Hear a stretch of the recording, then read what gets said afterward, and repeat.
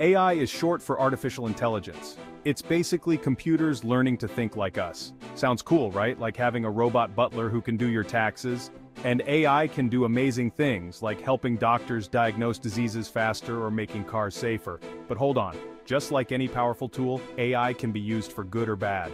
Think of it like a hammer. You can build a house with it, or you can hit someone over the head. Not great. The problem is, AI isn't perfect. It can make mistakes, and those mistakes can have real-world consequences.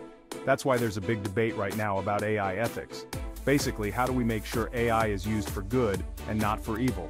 This isn't just some sci-fi movie problem, this is happening right now. So, let's break down the big ethical dilemmas we're facing with AI.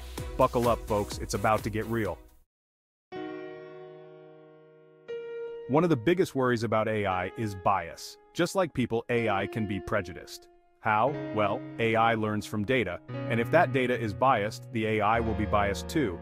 Imagine you're teaching an AI to be a recruiter. You feed it a bunch of resumes from the past, but those resumes are mostly from men, because historically men held more of those jobs. Guess what?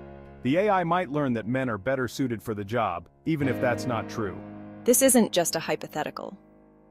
There have been real cases of AI systems being racist and sexist.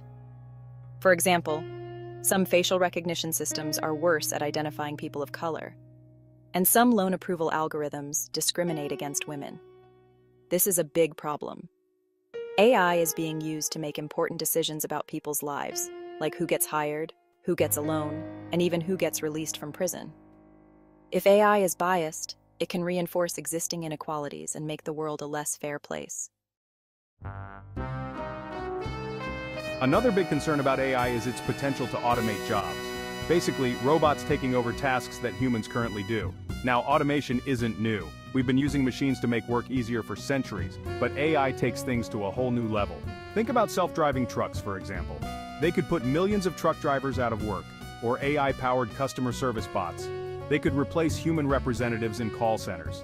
Now, some argue that AI will create new jobs, and that's true, it probably will. But those new jobs might require different skills, and not everyone will be able to make the transition. This could lead to greater economic inequality, with a small group of people benefiting from AI while others